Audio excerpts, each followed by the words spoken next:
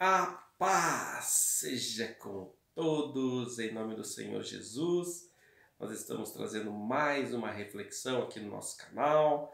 Sou o Peregrino Marcelo, nosso canal que está aí com o nosso devocional todos os dias, pregações, filmes, documentários, reflexões à noite e também mensagens que nós estamos aqui trazendo para você como esta que o Senhor nos permite trazer sobre Ruth. Ruth, uma mulher de ação.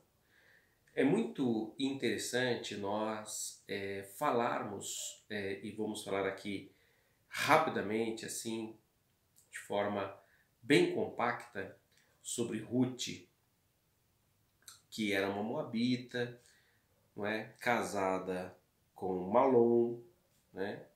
filho de Noemi, e aconteceu que veio a falecer o marido né, de, de Ruth, o Malom, né?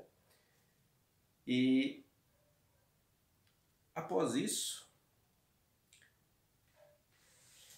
Noemi sem filho, sem marido, enfim, ela vai retornar a Israel. E Ruth, a Moabita, era uma mulher de ação. E ela, com certeza, conhece o Deus de Israel através da sua sogra, Noemi, Noemi, através de seu marido, e ela não quis mais ficar em Moab, né? que adorava o falso Deus Quemos. Ela queria seguir o Deus de Israel, o Deus criador dos céus e da terra. Mas para isso ela precisava agir, né? E este é um grande problema da maioria das pessoas. Elas querem até as coisas. Elas querem ter uma vida com Deus, elas querem ser abençoadas, só que elas não querem agir, ou seja, elas não querem sair do seu lugar de conforto. Para Ruth, o mais confortável, o mais cômodo, seria refazer a sua vida na sua terra natal de Moab.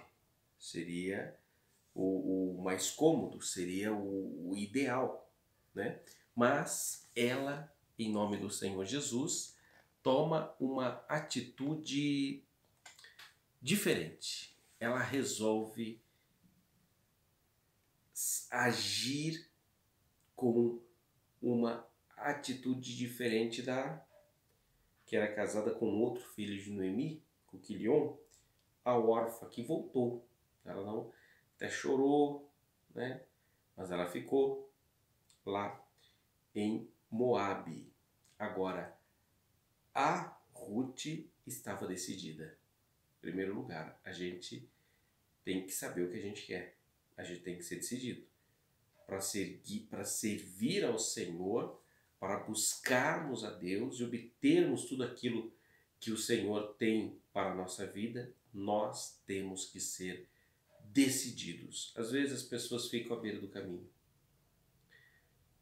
Ficam se lastimando, mas não querem ser pessoas de ação, não querem ser pessoas que perseveram, que lutam, que batalham, que saem do seu lugar de conforto. Muitos, infelizmente, vivem a lastimar, mas também não saem do seu lugar de conforto, não saem do seu comodismo, não agem. E a palavra do Senhor diz que é fé sem obras, ela é morta. É necessário, portanto, ação. É necessário, portanto, pôr a fé em prática. Quando Ruth falou para Noemi que queria voltar, ir com ela, né? Noemi iria voltar para Israel e, e, e Ruth quis ir, né? Com ela. Noemi insistiu para ela não ir, né? E inclusive a partir do momento que Orfa ela volta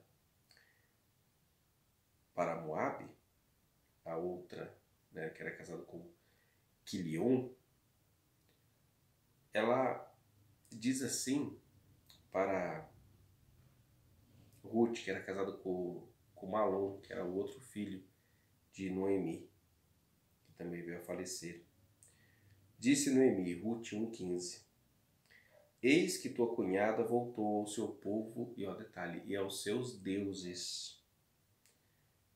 Também tu volta após a tua cunhada. Então, veja bem, em outras palavras, Noemi está dizendo para Ruth: Eu não tenho nada para te oferecer.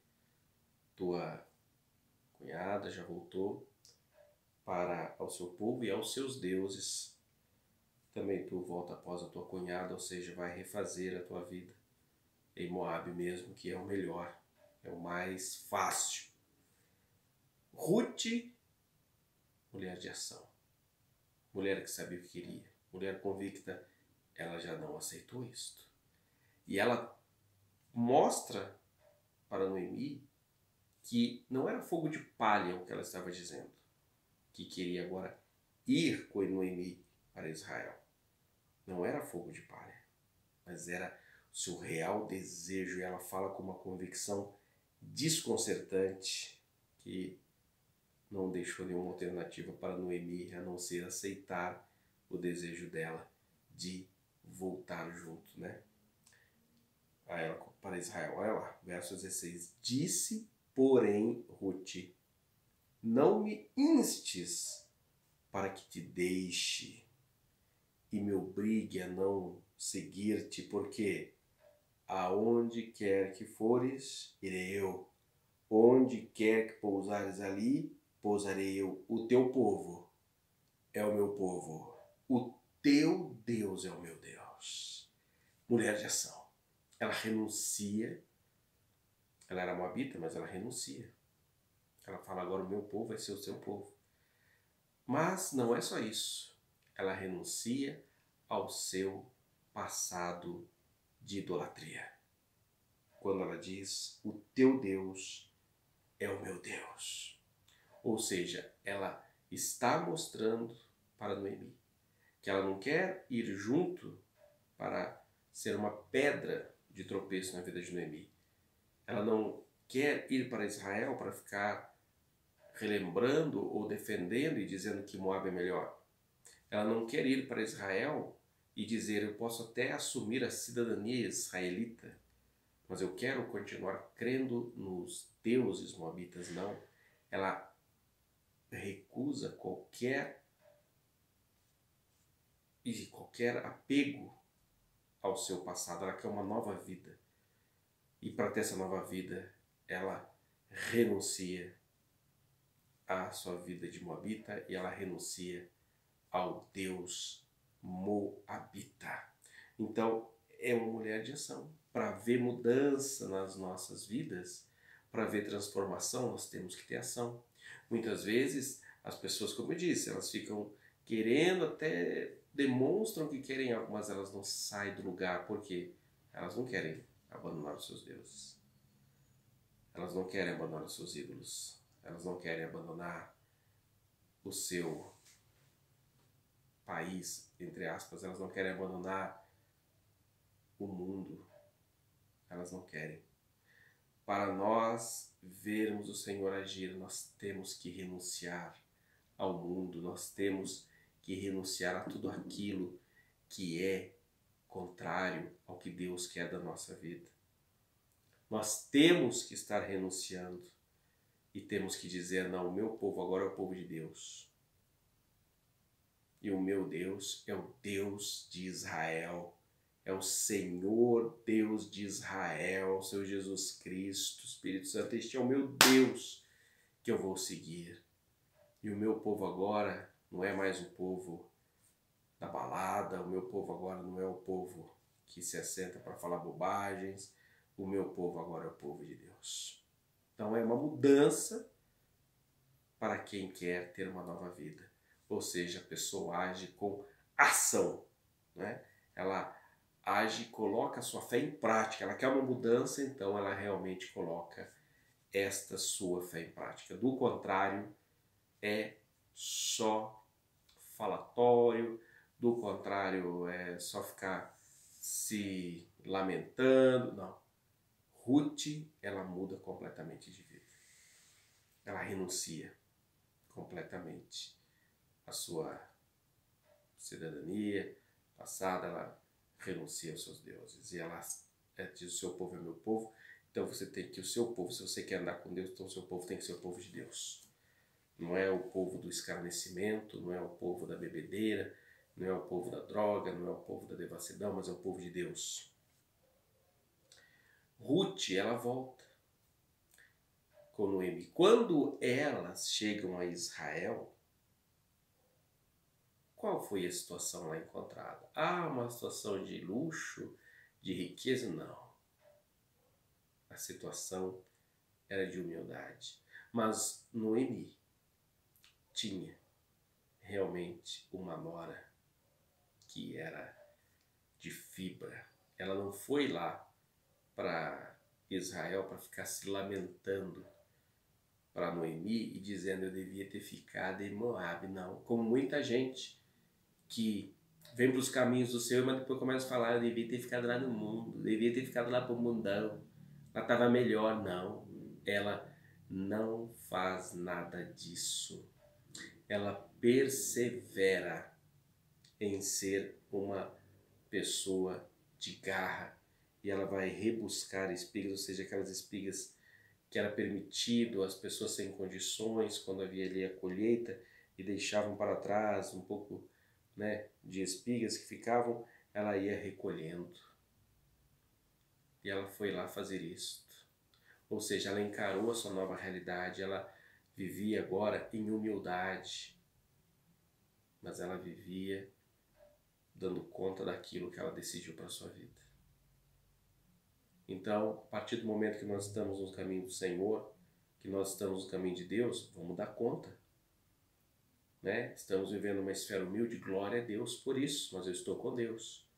Eu estou com o Senhor, eu quero estar com Deus.